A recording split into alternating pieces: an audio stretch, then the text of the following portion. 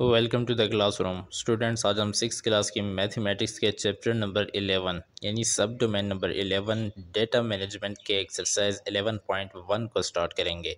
Eleven point one में हमारे पास first question है और इसमें हमें कहा जा रहा है कि डिफाइन द फॉलोइंग यानी नीचे हमें कुछ नाम्स दिए गए हैं, कुछ टर्म्स दिए गए हैं और हमें कहा जा रहा है कि इनकी अपनी डेफिनेशन करनी है। तो इस कॉन्सेप्ट को भी हम समझ लेते हैं तो इसमें हमें फ़र्स्ट पार्ट दिया गया है। तो यहाँ पर हमसे डेटा की डेफिनेशन पूछी जा रही है तो डेटा की डेफिनेशन है कि data is a collection of any information and facts यानी डेटा जो होता है, वो किसी भी इंफॉर्मेशन और फैक्ट्स तसरात जो होते हैं, उनका मजमू होता है। यानी कोई भी इंफॉर्मेशन हमारे पास हो या कोई भी फैक्ट्स हमारे पास हो तो वो हमारे पास एक डेटा है। सच एज़ कैसे फैक्ट्स या इन्फॉर्मेशन हो सकते हैं तो सच एज़ नंबर्स या हमारे पास नंबर्स भी हो सकते हैं वर्ड्स भी हो सकते हैं मेयरमेंट्स भी हो सकती हैं लेंथ वेट और ये चीज़ें, ये सब कुछ मेयरमेंट्स भी हो सकती हैं के जी वगैरह में ऑब्जर्वेशंस भी हो सकती हैं और इवन डिस्क्रिप्शन ऑफ़ थिंग्स या किसी भी चीज़ों का डिस्क्रिप्शन भी हो सकता है। तो किसी भी इंफॉर्मेशन को, आसान अल्फाज में ये सारी चीज़ें इंफॉर्मेशन में आ जाती हैं तो किसी भी इंफॉर्मेशन को हम डेटा कह सकते हैं तो ये हमारे पास डेटा की डेफिनेशन है इसे आपने याद कर लेना है। सेकंड हमारे पास है अनग्रुप डेटा यानी अनग्रुप डेटा क्या होता है? डेटा की फिर आगे दो टाइप्स होती हैं। सबसे पहले हमने डेटा की डेफिनेशन पढ़ी, अब उसकी दो टाइप्स हैं। एक है ग्रुप डेटा और एक है अनग्रुप डेटा तो अनग्रुप डेटा की डेफिनेशन हमारे पास है कि the data which provide us information और डेटा पॉइंट्स इंडिविजुअली यानी कोई भी ऐसा डेटा जो इंडिविजुअली हर एक चीज़ के अलहदा अलहदा से हमें इंफॉर्मेशन दे तो उसे हम क्या कह सकते हैं? अनग्रुप डेटा यहाँ पर आप देख सकते हैं कि the data provide us information और डेटा पॉइंट्स इन्फॉर्मेशन और डेटा पॉइंट्स एक ही चीज़ हैं। आप जस्ट इस तरह भी कह सकते हैं कि the data which provide us information individually is known as ungroup data तो ये इजी डेफिनेशन होगी, इसे आपने याद कर लेना है। इसे अगर आप मज़ीद इसी तरह समझें तो फॉर एग्ज़ाम्पल क्लास सिक्स को हम ले लेते हैं तो क्लास सिक्स में हम ले लेते हैं सिक्स बच्चे। तो अगर छः बच्चे क्लास सिक्स में हैं, इन हर एक का अलहदे से अगर हमें इंफॉर्मेशन दिया गया हो फॉर एग्ज़ाम्पल इसमें से किसी का नाम ताहिर हो तो ताहिर के मार्क्स हमें दिए गए हों, कि उसके मार्क्स एटी नाइन है, इसी तरह वाजिद हो, वाजिद के मार्क्स भी दे दिए गए हों, कि उसके सेवेंटी एट मार्क्स हैं इसी तरह अलहदा अलहदा हर एक स्टूडेंट के अगर हमें डेटा या इंफॉर्मेशन दिया गया होगा तो वो अनग्रुप डेटा होगा। और अगर क्लास सिक्स के टोटल लड़कों का यानी हर एक का अलहदा अलहदा से नहीं, बल्कि टोटल की हमें परसेंटेज दे, दी जाए कि इसकी ये परसेंटेज बन रही है तो वो हमारे पास ग्रुप डेटा खेलाएगा तो आसानी से ये समझ लें कि किसी भी चीज़ के अलहदा से अगर हमें इन्फॉर्मेशन दी गई है तो वो हमारे पास अनग्रुप डेटा है। थर्ड पार्ट में हमें ग्रुप डेटा की डेफिनेशन पूछी जा रही तो ग्रुप डेटा वो हमारे पास होता है कि the data which is given in intervals और ग्रुप यानी कहा जा रहा है कि जो भी डेटा हमें इंटरवल्स या ग्रुप की फॉर्म में दिया होगा प्रोवाइड अस इन्फॉर्मेशन जो कि हमें इन्फॉर्मेशन प्रोवाइड करता होगा तो उसे हम ग्रुप डेटा कह सकते हैं। फॉर एग्जांपल हम क्लास सिक्स के ही एग्जांपल ले लेते हैं। क्लास सिक्स को लेंगे तो क्लास सिक्स में फॉर एग्जांपल हम इंटरवल के हिसाब से ले लेते हैं कि यहाँ पर एट से लेकर ट्वेल्व यानी आठ से लेकर बारह साल के बच्चे जो हैं वो कितने हैं? क्लास सिक्स में। तो हम लिख लेते हैं कि वो हमारे पास आठ बच्चे हैं। यानी आठ बच्चे ऐसे हैं जिनकी एज जो है आठ से लेकर बारह साल तक है। इसी तरह फिर बारह से लेकर पंद्रह साल तक जो बच्चे हैं उनकी ए, वो कितने हैं? तो वो हमारे पास सेवन हैं। इसी तरह पंद्रह से लेकर 18 साल तक के जो बच्चे हैं, वो हमारे पास कितने हैं तो हम लिख लेते हैं कि वो हमारे पास पंद्रह बच्चे हैं। यानी फॉर एग्ज़ाम्पल हम फोटीन कर लेते हैं कि चौदह बच्चे हमारे पास हैं। तो ये जो हमें इंटरवल्स में डेटा दिया गया है तो इसे हम कह सकते हैं कि हमारे पास ग्रुप डेटा है। इसे एक्सरसाइज का नेक्स्ट क्वेश्चन हमें दिया गया है। क्वेश्चन नंबर टू और इसमें हमें कहा जा रहा है कि observe the following tables and identify as group और अनग्रुप फ्रीक्वेंसी टेबल यानी कहा जा रहा है कि नीचे आपको हमने दो टेबल्स दिए हैं, इनको आपने आइडेंटिफाई करना है। ऑब्ज़र्व करना है पहले, और उसके बाद आइडेंटिफाई करना है इसमें कि इसमें कौन सा ग्रुप डेटा का टेबल है और कौन सा अनग्रुप डेटा वाला टेबल है। तो यहाँ पर हम फ़र्स्ट टेबल की तरफ़ अगर देखें तो यहाँ पर हमें कहा जा रहा है कि table show the age of students यहाँ पर स्टूडेंट के एज शो किए गए हैं, जिनमें से नाम दिए गए हैं आलिया, शुमाइला, समरीन, समीन, अलीज़े, लाइबा और अरशीना के। तो हर एक के अलहदा से चूँकि आप देख सकते हैं कि हमें एजेस दिए गए हैं तो ये हमारे पास क्या होगा? ये अनग्रुप डेटा होगा, क्योंकि ग्रुप के फॉर्म में नहीं दिए गए, बल्कि हर किसी के अलहदा अलहदा एज हमें प्रोवाइड कर दिए गए हैं तो ये हमारे पास अनग्रुप डेटा होगा। इसी तरह अगर हम सेकंड टेबल की तरफ़ देखें, दूसरे टेबल की तरफ़ तो यहाँ पर लिखा हुआ है कि the table show the obtain marks of grade six student यानी ग्रेड सिक्स के स्टूडेंट ने जितने मार्क्स लिए हैं, उसका टेबल हमें दिया गया है। एक तरफ़ यहाँ पर मार्क्स लिखे गए हैं और दूसरी तरफ़ फ्रीक्वेंसी लिखी गई है। मार्क्स यानी एक से लेकर बीस तक जितने मार्क्स लिए हैं, वो कितने स्टूडेंट हैं? वो हमारे पास हैं फाइव स्टूडेंट्स यानी फाइव स्टूडेंट ऐसे हैं जिन्होंने वन से लेकर ट्वेंटी के दरमियान मार्क्स लिए हैं। इसी तरह सेकंड रो में हमें कहा जा रहा है कि ट्वेंटी वन से लेकर फोर्टी तक। यानी टेन स्टूडेंट ऐसे हैं जिन्होंने ट्वेंटी वन से फोर्टी तक मार्क्स लिए हैं। तो इस तरह हमें ग्रुप की फॉर्म में डेटा दिया गया है। आप देख सकते हैं कि किसी एक अलहदा से नहीं दिया गया, बल्कि ये इंटरवल्स की फॉर्म में है। एक से लेकर ट्वेंटी तक ट्वेंटी वन से लेकर फोर्टी तक।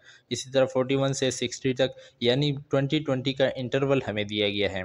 तो हमने अनग्रुप सॉरी ग्रुप डेटा के बारे में पढ़ा था कि इंटरवल की फॉर्म में अगर हमें डेटा दिया गया होगा तो वो ग्रुप डेटा होगा। तो यहाँ पर हम इसके साथ लिख सकते हैं कि ये हमारे पास ग्रुप डेटा की फॉर्म है। इसी क्वेश्चन का हमें थर्ड पार्ट दिया गया है और थर्ड पार्ट में आप देख सकते हैं कि एक टेबल हमें दिया गया है। जिसके तीन कॉलम है और कहा जा रहा है कि the below table show the sales record of toys in toy shop. यानी कहा जा रहा है कि एक टॉय शॉप खिलौने की शॉप थी और उसमें जितने भी खिलौने बिके हैं, ये उसका टेबल है। तो आप देख सकते हैं कि प्राइस ऑफ़ टॉयज़, यहाँ पर प्राइस ऑफ़ टॉयज़ के हवाले से हमें डेटा प्रोवाइड किया गया है। तो जिनकी प्राइस एक रुपये से लेकर सौ रुपये तक है, वो हमारे पास चालीस टॉयज़ जो हैं, वो बिके हैं। इसी तरह एक सौ से लेकर दो सौ के दरमियान जो हमारे प्राइसेस हैं, वो ट्वेंटी खिलौने बिके हैं। इसी तरह 200 से 300 जो हैं, वो 45 खिलौने बिके हैं। और 30 खिलौने ऐसे बिके हैं, जिनकी कीमत जो है, वो हमारे पास 300 से 400 तक है। तो इस तरह इंटरवल की फॉर्म में हमें डेटा दिया गया है। तो हमने ग्रुप डेटा की फॉर्म में पढ़ा था, उसकी डेफिनेशन में पढ़ा था कि इंटरवल्स की फॉर्म में हमें जो डेटा दिया गया होगा, वो हमारे पास क्या होगा? ग्रुप डेटा होगा। तो इसके साथ हम मैंसन कर सकते हैं कि हमारे पास ग्रुप डेटा है।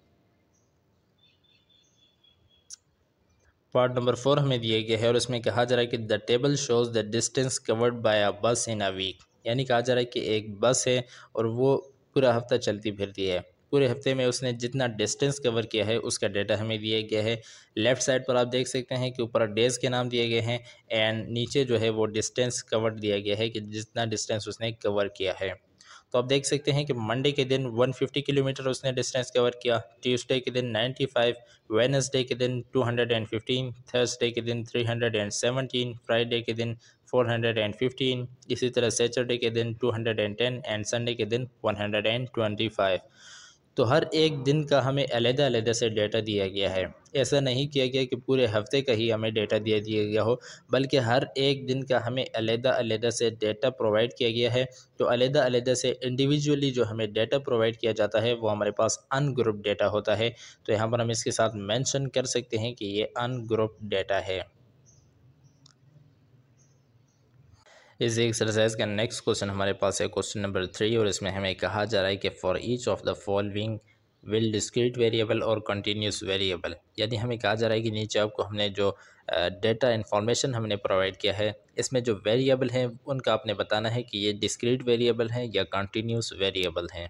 तो सबसे पहले तो आपको जान लेना होगा कि discrete variable and continuous variable होते क्या हैं।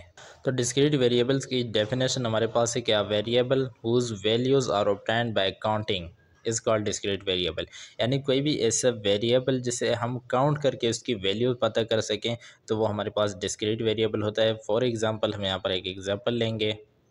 फॉर एग्ज़ाम्पल हमारे पास क्लास सिक्स के स्टूडेंट्स हैं। तो क्लास सिक्स के स्टूडेंट्स जो हैं, ये हमारे पास क्या हैं? ये डिस्क्रीट वेरिएबल्स हैं। क्योंकि हम अगर जानना चाहते हैं कि क्लास सिक्स में कितने स्टूडेंट हैं तो हमें उन्हें काउंट करना पड़ेगा। और जिस भी चीज़ को हम काउंट करते हैं तो वो हमारे पास डिस्क्रीट वेरिएबल होता है। सेकंड हमारे पास एक कॉन्टीन्यूस वेरिएबल तो कॉन्टीन्यूस वेरिएबल की डेफिनेशन है क्या? Variable whose values is obtained by measurement is called continuous variable यानी कोई भी ऐसा वेरिएबल जिसकी वैल्यू हमें मैयरमेंट करने से पता चले, यानी कोई भी चीज़ मैयर करने से पता चले तो वो कॉन्टीन्यूस वेरिएबल कहलाता है। फॉर एग्ज़ाम्पल किसी भी इंसान का वेट हो गया हाइट हो गया तो ये चीज़ें जो होती है, ये कॉन्टीन्यूस वेरिएबल्स में हो, शामिल होती हैं। थर्ड क्वेश्चन का हमें फ़र्स्ट पार्ट दिया गया है और इसमें हमें कहा जा रहा है कि number of people in our school हमने बताना है कि कॉन्टीन्यूस वेरिएबल है या डिस्क्रीट वेरिएबल है। तो हमें पता है कि number of people in our school इनको हम काउंट करके ही पता कर सकते हैं इनकी वैल्यू कितनी है। तो इसलिए जिस चीज़ को हम काउंट कर सकें, वो हमारे पास डिस्क्रीट वेरिएबल होता है। तो हमने इसके साथ मेंशन कर दिया है कि ये डिस्क्रीट वेरिएबल है। इसी तरह बढ़ते हैं सेकंड पार्ट की तरफ़। सेकंड पार्ट में है मैस ऑफ़ आ मोबाइल तो मैस ऑफ़ आ मोबाइल यानी किसी भी चीज़ मोबाइल के मैस को फाइंड करने के लिए हम उसे काउंट नहीं करते बल्कि उसे मैयर करते हैं। किसी भी तराजू पर उसे मैयर करते हैं तो ये मैयरिंग है तो इसलिए हम इसके साथ कॉन्टीन्यूस लिखेंगे। तो ये हमारे पास एक कॉन्टीन्यूस वेरिएबल है। इसी तरह बढ़ते हैं थर्ड पार्ट की तरफ़। थर्ड पार्ट में हमारे पास एक number of pages in your mathematics book यानी आपकी मैथमेटिक्स के बुक में कितने पेजेस हैं? तो ऐसे भी हमें पता है कि हमने काउंट करना है, तभी जाकर हमें पता चलेगा। और जिस चीज़ को हम काउंट करते हैं तो हमारे पास डिस्क्रीट वेरिएबल होता है।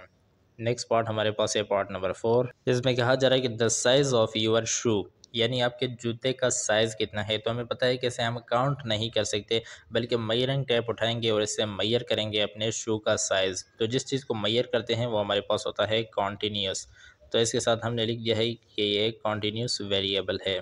नेक्स्ट पार्ट हमारे पास है पार्ट नंबर फाइव और इसमें कहा जा रहा है कि the volume of your water bottle यानी आपके जो वाटर की बॉटल है उसका वॉल्यूम कितना है? तो हमें पता है कि हमारे जो वॉल्यूम है उसे फाइंड करने के लिए हम उसकी लेंथ, वेट को लेंगे और देन फार्मूला लगाकर उसकी वॉल्यूम को फाइंड करेंगे। तो इसलिए हम इसे मैयर करेंगे तो जिस चीज़ को भी हम मैयर करते हैं वो हमारे पास होती है कॉन्टीन्यूस वेरिएबल तो इसके साथ हमने लिख दिया है कि एक कॉन्टीन्यूस वेरिएबल होगा।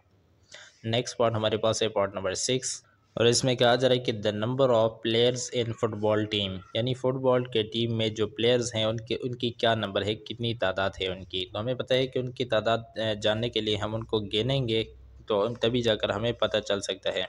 तो जिस चीज़ की हम काउंटिंग करते हैं, वो हमारे पास होती है डिस्क्रीट वेरिएबल तो इसलिए हमने इसके साथ मेंशन कर दिया है कि ये डिस्क्रीट वेरिएबल है। तो इन सब के साथ हमने मेंशन कर दिया है कि कौन सा डिस्क्रीट वेरिएबल है और कौन सा कॉन्टीन्यूस वेरिएबल है। इसी एक्सरसाइज का नेक्स्ट एंड लास्ट क्वेश्चन हमारे पास है क्वेश्चन नंबर फोर और इसकी स्टेटमेंट है a school keeps the record of blood group of all students who donate blood every year यानी हमें कहा जा रहा है कि एक स्कूल है और इसमें जितने भी बच्चे हैं, उनके ब्लड ग्रुप का रिकॉर्ड जमा किया जा रहा है। यानी किसका ओ पॉजिटिव है ओ नेगेटिव है ए पॉजिटिव है ए नेगेटिव है, ये सारे रिकॉर्ड स्कूल वाले जमा कर रहे हैं। उन स्टूडेंट का जो हर साल ब्लड डोनेट करते हैं। Is that record are discrete variable और कॉन्टीन्यूस वेरिएबल? अब हमसे पूछा जा रहा है कि ये जो रिकॉर्ड स्कूल वाले कलेक्ट कर रहे हैं, ये डिस्क्रीट वेरिएबल है या कॉन्टीन्यूस वेरिएबल है? तो हमें पता है कि वो मैयर करके पहले उनकी टेस्ट करके देखते हैं कि इनका जो ब्लड ग्रुप है वो कौन सा है, कौन सा ब्लड ग्रुप इनका है। तो इसका, उसको मालूम करने के लिए वो टेस्ट करते हैं, बल्कि काउंटिंग नहीं करते, बल्कि टेस्ट करते हैं। और जिस चीज़ को भी मैयर किया जाता है, टेस्ट बोलते हैं मैयर करने को। तो जिस चीज़ को भी मैयर करते हैं हम, वो हमारे पास कॉन्टीन्यूस वेरिएबल होता है डिस्क्रीट वेरिएबल नहीं होता। डिस्क्रीट वेरिएबल सिर्फ़ और सिर्फ़ वो होता है जो हम काउंटिंग के ज़रिए पता कर सकते हैं। तो इसलिए हम कह सकते हैं कि ये जो रिकॉर्ड हमें दिया स्कूल वालों ने कलेक्ट किया है, ये कॉन्टीन्यूस वेरिएबल है। तो इसलिए इसके आंसर में हमने कॉन्टीन्यूस वेरिएबल लिख दिया है और ये इसका आंसर है।